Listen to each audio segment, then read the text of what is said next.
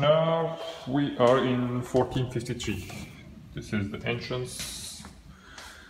When you enter the apartment, the, there's this closets which can hold shoes and jackets and all other stuff like this. In front of the door there is the kitchen and when you turn right it is the main bedroom. The main bedroom has a place for the closets. You can put your closet here and this is the main room.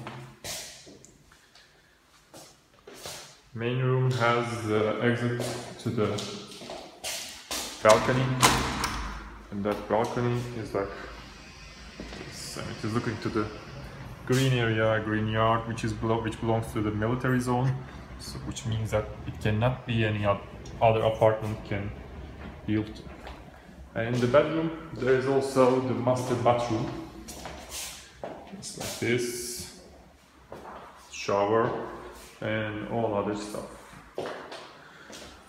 now I'm going back to the hall. Next to this bedroom, here is the living room. Living room is with the corners, which means that there's no any place which is not used. Is also going to the balcony. Balcony is half open and half closed with the windows, as you can see, and the military zone look to there. Now we are looking over from the fourth floor. Here is the entrance and here is the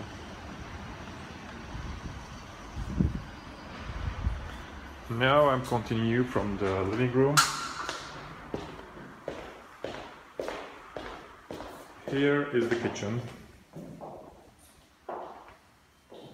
The only fridge is not existing except that oven, cooker, and aspirator and dish machine is already existing. There is a small table which you can eat your lunch or dinner, whatever you want, while you're alone or two persons, you can eat it in here. And it looks to the garden and the street like this. Okay, now I'm going to the second room second room is in here.